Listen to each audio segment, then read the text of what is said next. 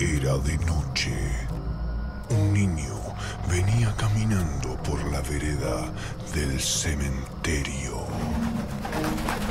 Por encima del muro aparecieron tres vampiros con sus capas negras y sus colmillos afilados buscando sangre.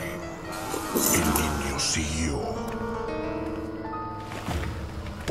Reja comenzaron a salir varios zombies con hambre de cerebros. Bueno, tenemos el honor de entrevistar al señor Padilla, un gran artista y ya muy reconocido, y además de Málaga. Bueno, buenos, buenas tardes. Hola, buenas tardes, ¿qué tal? ¿Cómo estamos? ¿Cómo ha sido documentarte para este libro? Bueno, tú has hecho muchísimos trabajos, viajas muchísimo y tienes un montón de reconocimientos. Pues mira, la verdad es que me facilitó bastante la documentación el guionista y el editor, Raúl, porque me, me mandó todos los, los mitos, las leyendas, los personajes. Y bueno, la verdad que me lo puso fácil, porque yo no sabía que había tanta mitología española y la verdad que me ha gustado mucho el tema.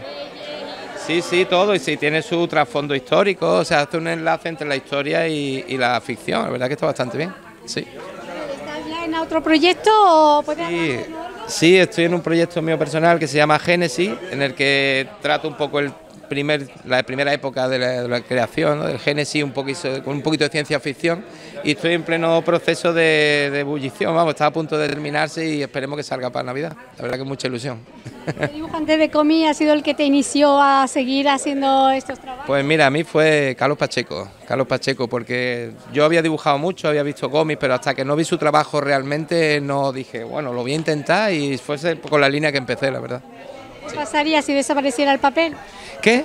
¿Qué, pasaría si desapareciera el papel? Se pierde magia, se pierde magia, porque yo trabajo en digital y en papel, pero es verdad que la magia del papel es diferente. Es verdad también que por ecología y por todo, pues dibujar en digital favorece que se cuide un poco más el ambiente, pero que desapareciera esto no me gustaría.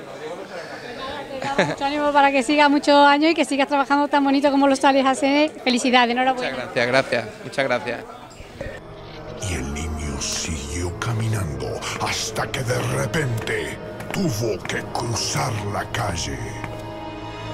Pero antes de cruzar, miró para los dos lados, porque la calle es muy peligrosa.